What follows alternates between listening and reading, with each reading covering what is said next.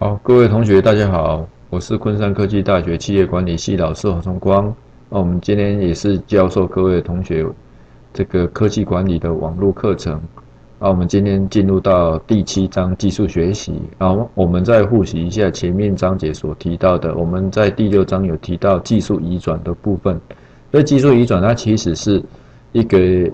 学习新的技术的一个方式哈。啊，当然这个技术移转它的一个这个。要去了解的就是它到底它的技术移转的内容，还有它技术移转的过程以及时间哈，因为有有可能这技术移转的时间有可能会影响到我这个新这个公司新产品开发的这个的一个可能这个时间哈，所以说接下来就是我们会讲到技术学习哈，这技术学习就是变成员工他在这个公司要采用新的技术啊，他要透过什么方式来。来学习这个过程哈，这个其实是要要有一段很长的时间哈，因为这个新的技术其实有些这个技术的难易程度哈，其实也会影响到技术学习的这个时间的长短哈。所以我们今天进入到这个课程的主题哈。好，所以说这个学习的过程其实就跟同学在学习什么新的观念一样，比如说你今天学习你要去考证照，你可能就是要先。先去了解说到底它的证照的这个内容是什么，然后可能就要去买教科书，然后去准备这个这个证照的考试。那当然，这个考试的里面可能有有这个，比如说它也可能有很多试题，你要去做练习。那当然，在练习之前，你可能就要先去读一些它的考试的所所规定的内容哈。所以这就是我们说的一个学习的过程哈。然后，当然，这个在一家公司里面，他可能你要去了解我这个构想的一个过程哈，构想的一个问题哈。比如说，我今天要去什么东西是你觉得最感兴趣的，然后有哪些事情是你不了解的，然后你有哪些事情是去喜欢去研究的哈。这就是我们说的一个要有一个诱因啊哈。为什么你要学习这个这个问题哈？然后另外一个就是。针对你要去了解这个问题，再去设计一个一个研究哈，就是说我针对这个问题，我要去调查为什么会这样哈，然后我要怎么去解决这个问题哈，然后我要解决这个问题要用什么方式来调查哈，所以说，然后另外一个就是说，你会说，哎，我如果是他，呃，然后我会怎么做呢？这都是我们说的，在学习过程里面，可能你就会有这一些。这一些步骤、这些想法，哈，那另外一个就是你会在这个过程里面，你就会发展出新的方法，哈，然后有，就是说你可能在学习的过程，你会找到说，哎，有没有新的方式来学习，然后，然后另外一个就是用什么方式来这整个组织里面转换式的领导，哈，然后最后就是说你可能要表达是什么，哈，然后你可能会归纳出什么结论。所以这就是我们说的，在整个学习的过程里面的一些步骤了哈。好啊，当然在组织里面哈，在技术学习，在学习是一个很长的时间哈，所以它是一从从个体从生活经验中获得有关自我跟外在生活情境的知识，进而调整自己的行为哈，这是它的定义啊哈。所以说，在这个技术学习里面哈，你就变成说一个。组织里面的成员，他要去学习、转化、扩散，然后最后就变成整个组织里面就有这个活动哈，这就是我们讲讲的组织学习哈。学习就是它是在一个特定情况中重复经验引起的行为或潜能的变化，所以它是一个持久性的一个历程然后，所以就是说我们这在这个科在这技术学习里面，其实是跟我们一般。日常的学习是一样的方式哈，只是说技术学习它是比较强调是在某些特定上的一个部分哈。好，所以说这个组织学习哈，当然就是有有很多的方式哈，比如说探索式学习哈，探索式就是可能可能你就是用一个比较。这可能你不晓得这种学习模式是什么，你你只是说，哎，我我想要达到什么目标，然后用一个一个找寻的方式哈，探索新目标这个，然后另外一个就是收成式的哈，收成式就是说我可能就是预估我我到底我要达到什么的目标是很明确的哈。当然，这个就是我们说的收成式学习哈。然后第一个就是有不同的公司、不同的部门，可能它有不同的学习模式哈。一阶学习跟二阶学习哈。什么一阶学习是什么？这大概就是我们说的这个整个企业这个，比如说我的。简单的学习，二阶的学习可能比较进阶的一个部分哈，比如说一阶学习可能就是一般的作业人员哈，他可能学习这个技术的操作面，然后二阶学习可能就是变成这个管理阶层，他可能他可能就不需要比较不需要了解这个技术的操作，他可能就是要去了解这个技术会带给公司有哪部分的改进哈，就是比如说作业程序呀，还有他可能会不会。对公司的目标跟策略有没有什么影响？哈，所以这就是说我们说的，在一些企业组织里面，可能都要不同阶段的学习的一个一个范围，不是说所有都是同一阶段的学习模式，哈。好，另外一个就是一个例子就是丰田汽车了，哈，丰田汽车，然后它这个在我们前面章节应该有有有讲过，就是那个有电混合的部分，哈，然后虎式汽车。也是德国一个车厂哈，要两家公司来互来相互来研究，然后推出油电混合的技术，这叫做探索式学习啊。探索就是说他们可能最终的目标是什么啊，然后用一个双方合作来开发出新的技术出来，这叫探索式学习哈。好，啊，当然这个在组织学习里面哈，当然这个就是我们说的要有一个建立一个。学习的机制了哈，当然你也要有一个团队来学习哈啊，当然学习机制这建立起来之后，你可能就要有一个学习的过程啊，收集资料、分析，然后把资料存储存起来，然后来运用这个技术哈。当然这就是我们说的资料收集的一个过程哈，资料收集然后分析、储存、运用哈，所以这都是我们说的组织学习很重要的部分哈。好，那当然，组织学习里面哈，你可能就是要去了解说，在这个过程里面是不是有建立公司的竞争力哈？所以主要就是为什么要组织学习？因为主要就是要能够增增加自己的一个一个一个优势了哈。啊，当然，就比如说我们这个科技管理里面，你可能就会通过组织学习来学习新的技术跟。跟外面的这些公司来合作，那当然这个就是要建立竞争优势哈。好，所以说这个组织学习哈，当然它有一个叫关系资本啊。什么叫关系资本？就是说你的这个资本，就是说你可能在学习过程里面，你可以增加你的一个竞争力的哈。比如说你可能有一些过去合作的经验呐。信任程度啊，资源投入啊，这个其实都是我们说的可以提高关系资本哈。好，所以说技术学习哈，大概有有几个部分了哈。你所以说你可能从过去的经验、组织里面或者是资源投入哈，它其实是它的影响的原因哈。啊，当然知识学习可能分享、组织互动、透明性，还有关系资本哈。然后最后就是我们说的组织绩效了哈。好，那关系资本大概是我们讲的哈，过去经验、组织信任程度跟资源投入的承诺哈，当然所以说这个也是会影响到我们的整个组织学习的因素哈。好，所以当然这个是过去合作的经验啊，其实有有可能就是因为比较早期的这个这个可有可能是资讯两边是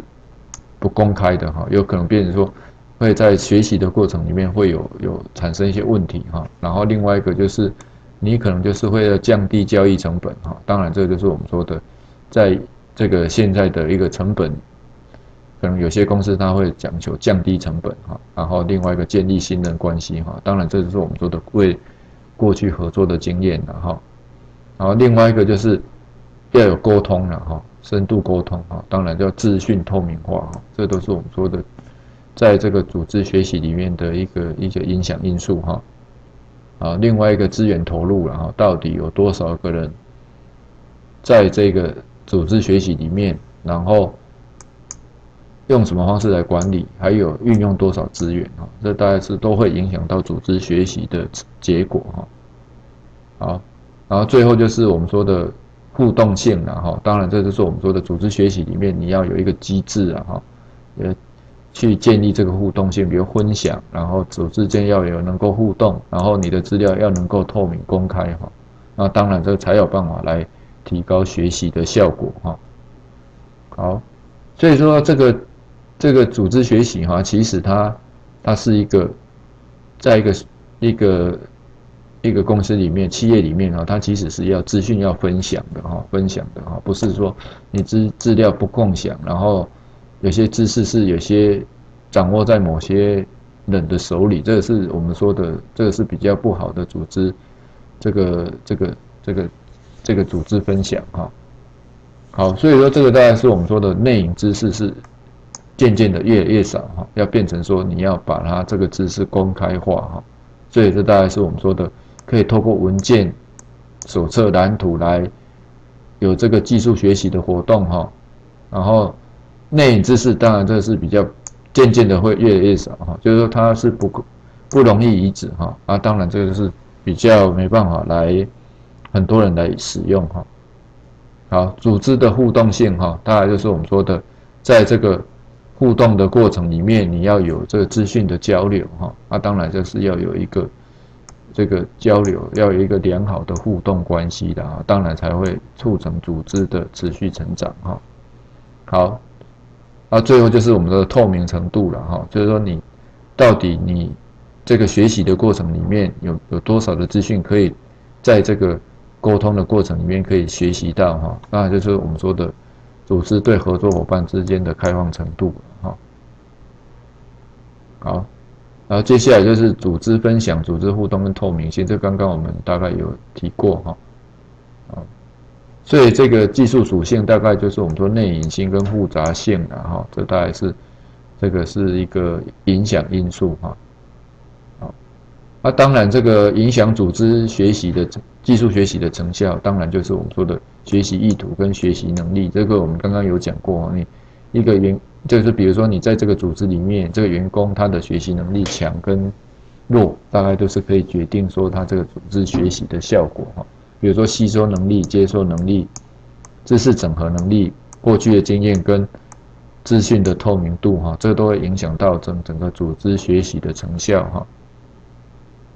好，那当然，这个学习的意图是很重要的哈。所以说，这个变成一个企业的这个高高层啊，他可能就是要要有很决议的一个，就是跟员工来来告知说，哦，我们这个企业它是要有一个建立一个组织学习的这个环境哈。那当然，这个才有很多的员工会会跟随这个公司的这个策略哈。好，所以说这个组织它是将技术合作看作是技术学习的机会要投入更多的资源哈，然后能够掌握知识引进的过程，它其实最终又是要塑造良好的学习习惯，然后变成说有这个学习的这个习惯养成之后，可能接下来可能会开发新的技术出来，就变成说有一点像我们之前所说的知识的蓄水池了哈。好。所以说，这个吸收能力也是很重要的哈，就是你要去一个，比如说了解哪些新的技术，然后可能就变成说你要去对外部的资资讯你要非常敏锐哈，然后吸收外部外部的资讯来提升你本身的内在的一个一个技术能力哈。那当然，这个就是我们说的技术能力有了之后，你可以透过新的技术移转，然后组织学习，然后达到。这个组织绩效的提升哈，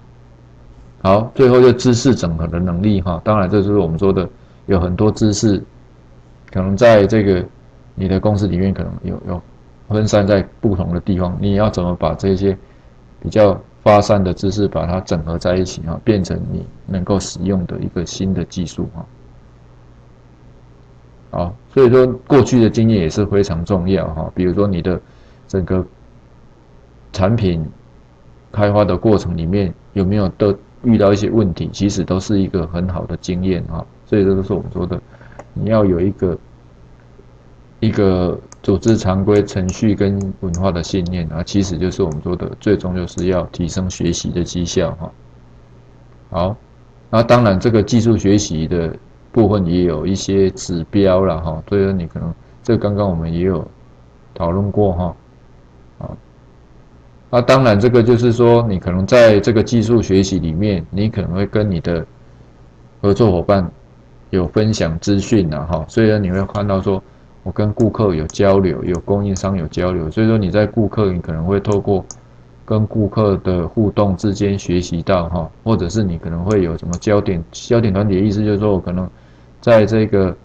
在这个比如说一个会议室里面啊，我把一些比较比较这种忠诚的顾客或者是我的供应商找进来一起谈，说去讨论说，哎，对我们的产品有没有什么意见，或者是在这个产品开发新的产品有没有什么用了有什么想法。或者是网络的虚拟社群哈，就是我们说 Line 啊，或者是 Facebook 上的群组，或者是直接在现场来了解哈，比如说到销售的这个门市啊，或者是这个，比如说他的那个消费者的家里面去了解哈，然后最后就是又透过资讯系统来跟顾客有做比较好的互动哈，然后供应商的话也是一样哈，就是说。可能在跟供应商的这个沟意见沟通啊，还有一些合作的部分有没有这有什么问题哈？好，所以说这个技术知识哈，大概是很多的面向，然后你就可以可以透过这种得到很多的资讯啊，获得的管道其实是有什么私有跟公开的哈。当然，这个就是我们说可以上网去查，或者是有一些一些期刊啊，或者是一些研讨会。那私有的话，可能就是透过个人的一个方式哈，个人方式，然后直接取得这个资讯哈。那当然，这个就是我们说的取得那个技术知识，其实管道非常的多哈。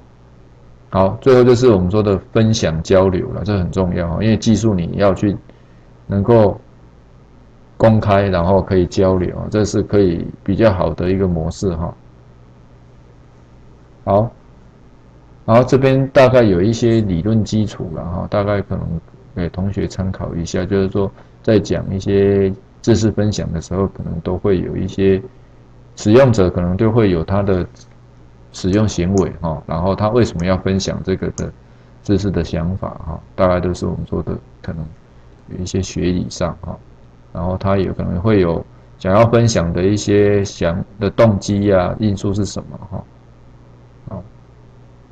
好，当然，技术学习它主要有四个部分哦。第一个就是素质能够提升，然后技术能力提升，还有我的技术的目标能够实现，然后最后就是满意度哈。技术人员提升，大概就是提升员工的技术能力，然后知识能力就是我可以开发新的商品的能力。那目标就是我能够把我的技术能力提升到另外一个境界哈。然后满意度可能就是我说的合作关系以及。互动间的满意度、顾客满意度啊，这一些哈等等。好，那今天我们就到这边，那谢谢各位同学。